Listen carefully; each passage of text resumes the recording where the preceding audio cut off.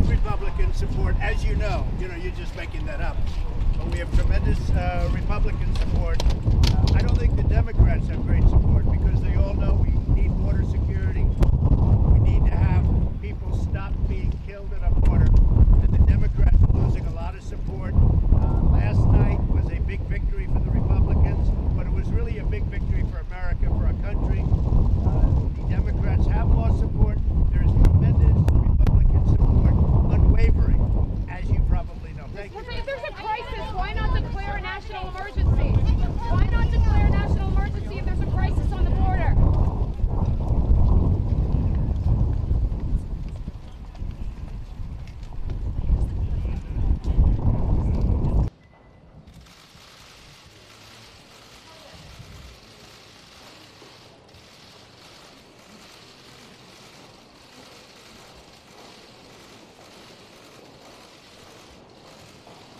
Mr. President, how much longer can this shutdown last?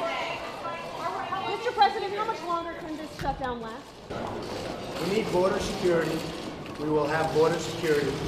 Tremendous Republican support, and I think we're going to win. What's your message to Republicans?